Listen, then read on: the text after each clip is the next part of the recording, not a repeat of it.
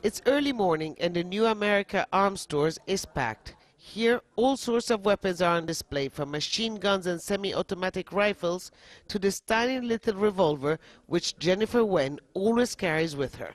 And it's very small, as you can see, it fits in the palm of my hand. It, we wouldn't typically consider this a caliber that you would use for self-defense. You mm. would want something more substantial. However, a bullet is still a bullet, and if this discharges to someone, it will cause damage, and depending on the shot placement, it could cause lethal harms. Americans purchased more than 17 million firearms in 2020, a record number. The spike in sales started during the coronavirus pandemic and continued to rise during the Black Lives Matter protests over racial injustice. The November election has further divided the country with both Republicans and Democrats suspicious of each other more than ever. There are those politicians who basically, if you boil it down, really want control. And so we know historically that control cannot be achieved without disarming a population. There are many examples of that worldwide.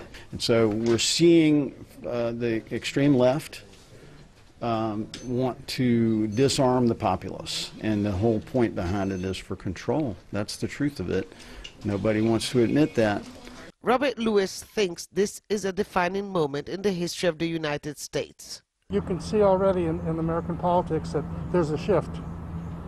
We have the, the uh, unreasonable Republicans that, that have supported Donald Trump, and, and, and now they're kind of backing off politely. I can see the, the point of uh, the, the, a lot of the people who are opposed to it as to, you know, let's, um, let's try to, to be unified and not divided.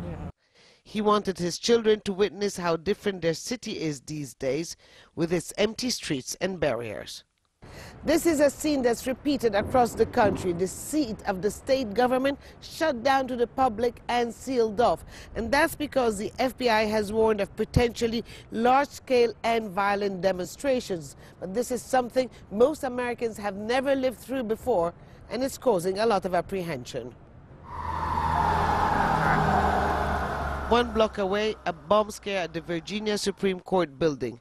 Authorities sealed off the area, but no explosives were found. Just an example of how the country is on edge. The City Council has banned firearms at demonstrations. Many say their rights are being stripped away and vow to rally in support of the Second Amendment in the days leading up to the inauguration of Joe Biden. With the country deeply polarized, the image of public parks and buildings closed is one of a nation in fear of itself.